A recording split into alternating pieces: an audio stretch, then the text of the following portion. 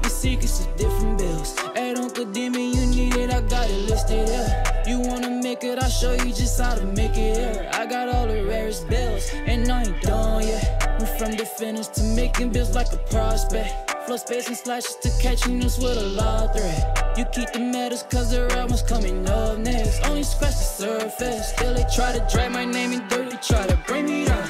See me winning. You Yo, what's going on YouTube? This is your man Uncle Demi, and today I have another special banger for you. I won't even say spe- another special. This is truly special. This is the the unicorn, right? This is the whatever you want to call the the the the Loch Ness monster, right? This is the the stories that we've heard and we have never found the truth to. But guess what? Today we found the truth to it, man. You already know what you need to do. Like up the video, get it to 1500 likes. Go ahead and subscribe. If you haven't already subscribed, you know I'm the hardest working YouTube and 2K community. I upload every single day since 2K20's prelude. I double upload every single day since 2K21's prelude. And today, I am giving y'all something truly special, okay? This is the all-around threat, man. And I'm gonna get honest with you. It's a really extremely, extremely good build. It's gonna be even better once you hit legend, of course. But the thing about this build is that you can make it at power forward, small forward, shooting guard, and point guard, right? But making it at power forward, you actually get more attributes, okay? So keep that in mind.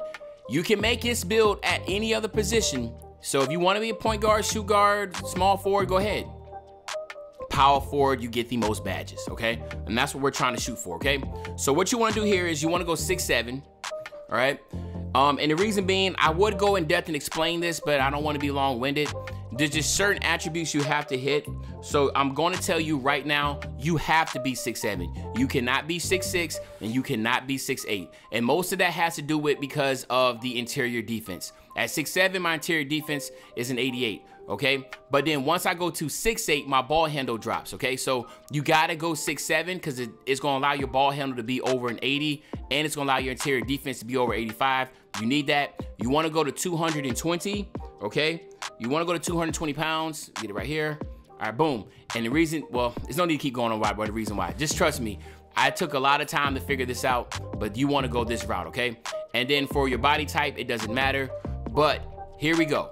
So this is what you wanna do. First, you wanna go down here and knock out your physicals, okay? Very important.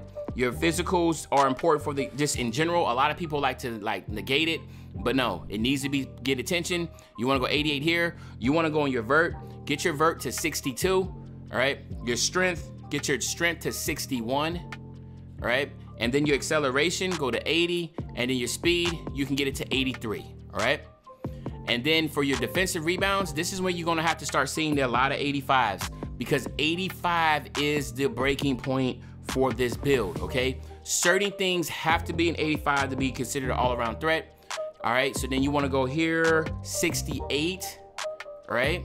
Come on, get there. 68 on your block. Then on your steal, you can actually go to 84 on your steal, okay? But your perimeter defense needs to be over 85, so we chose 86. And your interior defense has to be an 85 around the dot, so that's why you have it like that, okay? Then your speed with ball, we go 82. Your ball handle, you wanna go to 81. And then your pass accuracy, you wanna go to 81 also, right? So this is the only category where you do not have to be um, uh, at an 85 and over, but you still gotta be over an 80. Just look at all of these 80s, man. All right. So for your free throw, I mean, um, for your three point shot, you wanna go 85 and you wanna go 85 on your um, mid range. Okay, that's eight. Then you wanna go here, you wanna go 86. And then on your driving um, layup, you wanna go 85, of course. These two have to be over 85 and your close shot, get it right at an 80. So what you're looking at is 9, 8, 20, and 19, okay? This build is toxic, all right? Now, let's just talk about a couple things here. I just want everybody to sit here and just listen, okay? Just listen to this real quick. You're finishing, shooting, playmaking, defensive rebounding, right? You get a plus four to everything. Just check out these numbers here. 84 close shot, 89 driving layup, 90 driving dunk, 89 mid-range, 89 three-point shot, 85 pass accuracy, 85 ball handle, 86 speed with ball, 89 interior defense, 90 perimeter defense, 89 steal, 72 block, 82 offensive rebound, 89 defensive rebound. With your physicals, you get a plus four, okay? 87 speed, 84 acceleration, 65 um, strength, 66 vert, and a 92 stamina. Now understand this, guys. There is no build in this game that's gonna have those attributes anywhere close to it. This build is 100%, right? You you you basically don't even need badges in a in a, in a, in, a, in, a, in when you look at it because of how many attributes you have at 89 and above. 89 and above. Don't forget, someone on your team got floor general, those 89s all of a sudden jump up to 93s for your offense. So all this up here from this point up is 93s.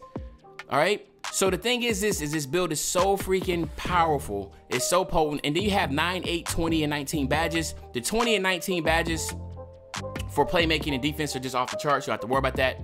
The shooting and the finishing, yes, there is concern there. But the simple fact is, is that if you can manipulate the badges a certain way, you can look pretty good for that. And I'm gonna go ahead and show you how we do that. So let's go ahead and cut to the chase. When we get here, you wanna make sure you, for me, this is me personally, I wanna go with easy blow bys. I wanna be able to blow by my defender as easy as I can and then let my badges take over for as contact dunks. And then the limitless range is when they start to sink off on me, all right? That's what I would go with. But you can get lockdown, playmaking, sharp, and finishing. But I'm gonna go this route. You can go any way you want, all right? And then here you have it, my nephews and nieces, the all-around threat.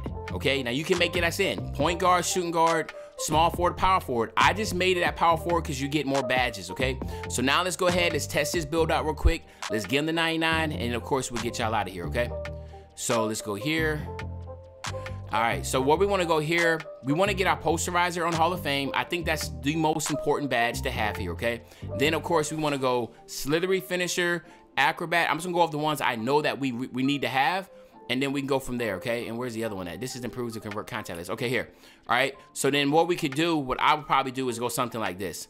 Hall of Fame posterizer, silver acrobat, silver um, relentless finisher, and silver slithery finisher. All the other ones are good, but remember, this badge is effective if you're kind of 6'5 and shorter, so that's why I didn't go there. I would love to have Heat Seeker, of course, who won it, but at the same token, you know, we go somewhere else, right? And then for your shooting, again, no worries where you at. You want to get your hot zone hunter. That's the most important one to have, okay? Your deep threes is another one to have.